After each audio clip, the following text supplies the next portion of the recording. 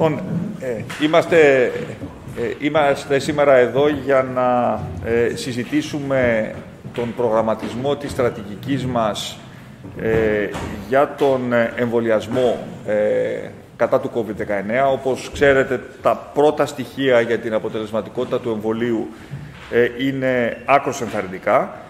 Αυτό είναι κάτι που μας φέρνει πιο κοντά στη δυνατότητα ενός μαζικού και ασφαλούς εμβολιασμού. Γι' αυτό είμαστε εδώ πέρα, για ένα σχέδιο εφαρμογής το οποίο θα είναι ε, ολιστικό από την προμήθεια, την αποθήκευση, την ασφαλή διανομή των εμβολίων, μέχρι την οργανωμένη διενέργεια των εμβολιασμών σε όλους, ξεκινώντας προφανώς με αυτούς οι οποίοι θα μπουν σε απόλυτη πρώτη προτεραιότητα με βάση τις κατευθύνσεις της Επιτροπής Εμβολιασμών. Ε, επιμένω στην ελεύθερη πρόσβαση όλων των Ελληνίδων και των Ελλήνων στο εμβόλιο, γιατί αυτή η κυβέρνηση από την αρχή αντιμετώπισε το εμβόλιο ως δημόσιο αγαθό, γι' αυτό και θα το διαθέτει δωρεάν σε όλους, χωρίς καμία εξαίρεση. Είναι υποχρέωσή μας, αλλά ταυτόχρονα με αυτόν τον τρόπο δηλώνεται και η προσήλωσή μας στην προστασία της δημόσιας υγείας. Η αγορά και η κατανομή των εμβολίων έχει ήδη συμφωνηθεί σε ευρωπαϊκό επίπεδο. Η Ευρωπαϊκή Επιτροπή έχει ήδη εξασφαλίσει, αν δεν κάνω λάθος, 1,1 δισεκατομμύρια δόσεις από τα σκευάσματα τα οποία βρίσκονται σε τελική φάση. Στην Ελλάδα αναλογούν παραπάνω από 25 εκατομμύρια τεμάχια. Κάποια από αυτά είναι διπλές δόσεις που πρέπει να γίνουν. Έχουμε δικαίωμα να ζητήσουμε ενδεχομένως και περισσότερα. Οι πρώτες παραδόσεις αναμένονται από τις ε, αρχές του 2021. Η Εθνική Επιτροπή Εμβολιασμού, όπως συμβαίνει σε όλες τις χώρες, θα καθορίσει το πρόγραμμα του εμβολιασμού. Χθες μάλιστα στη Βουλή κάλεσα όλα τα κόμματα να ε, αποστείλουν έναν εκπρόσωπο στην Εθνική Επιτροπή ώστε να υπάρχει η μέγιστη δυνατή πολιτική συνένεση στον τρόπο με τον οποίο θα προχωρήσουμε στην υλοποίηση ε, του σχεδίου.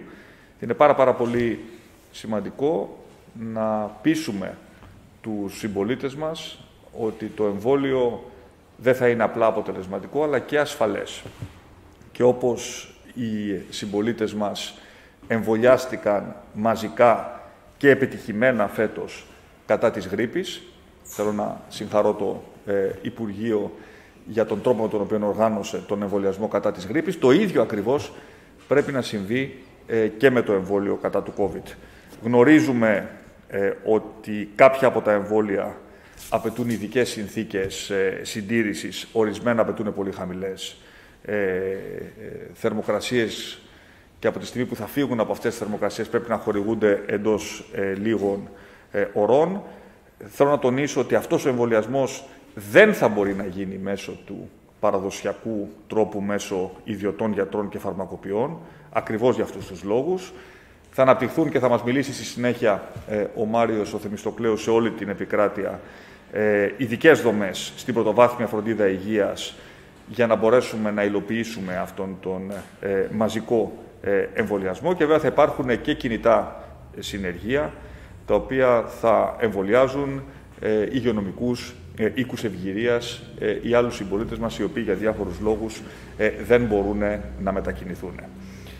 Ε, και εννοείται ότι όλη αυτή η προσπάθεια θα ε, πλαισιωθεί και με μια εκστρατεία ενημέρωσης από τους ε, ειδικούς, τους καθήλυνα αρμόδιους υπέρ αυτού του εμβολιασμού. Κλείνω όμως με μια απαραίτητη παρατήρηση, επαναλαμβάνοντας κάτι το οποίο είπα και χθες στη Βουλή. Το εμβόλιο δεν δίνει τη λύση σήμερα. Μας δείχνει όμως το δρόμο προς τη λύση αύριο. Και το θα διαπράταμε τεράστιο λάθος αν αυτή η μεγάλη επιτυχία της επιστήμης μας οδηγούσε σε πρόσθετο εφησυχασμό. Πρέπει να γίνει ακριβώς το ανάποδο. Τώρα που γνωρίζουμε ότι υπάρχει φως στην άκρη του τούνελ, τώρα που είμαστε περίπου βέβαιοι ότι μέσα στο πρώτο εξάμεινο του 2021 θα έχουμε πετύχει ένα επαρκές επίπεδο εμβολιασμού ώστε να αφήσουμε πίσω μας αυτή την κρίση, αυτή ακριβώς η πληροφορία πρέπει να μας κάνει πιο δυνατούς και πιο προσιλωμένους να τηρήσουμε τα μέτρα προστασίας και κυρίως, θα το ξαναπώ, να περιορίσουμε την κινητικότητά μας μόνο στις απολύτως απαραίτητες μετακινήσεις.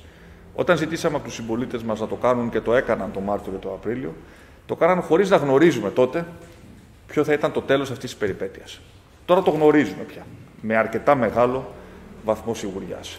Κατά συνέπεια, επαναλαμβάνω και σήμερα την ε, έκκλησή μου, πέρα και πάνω από τα μέτρα τα οποία έχει ήδη πάρει η πολιτεία, ο καθένας μας να αναλογιστεί την ε, υπευθυνότητά του απέναντι στον εαυτό του, στην οικογένειά του, στο κοινωνικό του σύνολο και να περιορίσει τις μετακινήσεις τους στο απολύτως απαραίτητο, έτσι ώστε να μπορέσουμε σε αυτήν την δύσκολη συγκυρία για το Εθνικό Σύστημα ε, Υγείας να διευκολύνουμε τους υγειονομικούς μας, τους γιατρούς, τους οδευτές που δίνουν μια τιτάνια μάχη αυτή τη στιγμή στα ε, νοσοκομεία της χώρας, αλλά να στηρίξουμε και τους συμπολίτες μας εκείνους οι οποίοι μπορεί να χρειαστούν τις υπηρεσίες του Εθνικού Συστήματος ε, Υγείας, να περάσουμε αυτό το δύσκολο διάστημα μέχρι ότου ε, να μπορούμε να έχουμε επίπεδα εμβολιασμού τέτοια που θα αφήσουμε για τα καλά πίσω μας αυτή την πανδημία.